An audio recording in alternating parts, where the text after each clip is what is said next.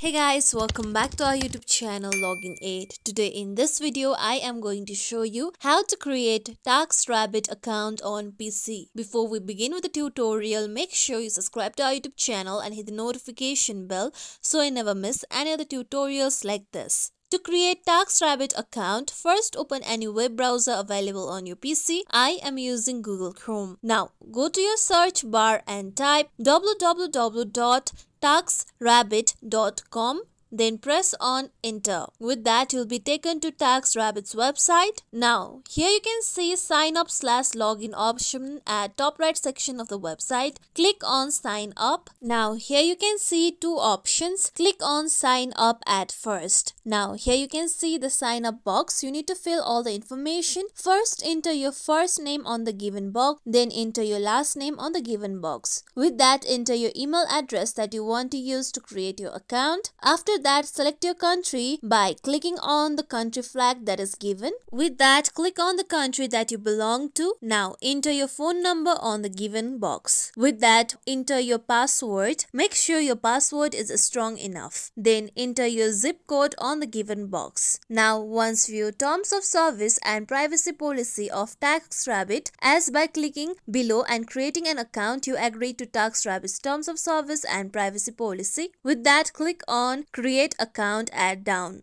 With that, you will be able to create TaskRabbit account on PC. As you can see here, my account has been created. This is how we can create TaskRabbit account on PC. This is it for tutorial everyone. Hope this tutorial was helpful to you all. If you like today's tutorial, make sure you like, share, subscribe to our YouTube channel for more tutorials like this. Thank you for watching.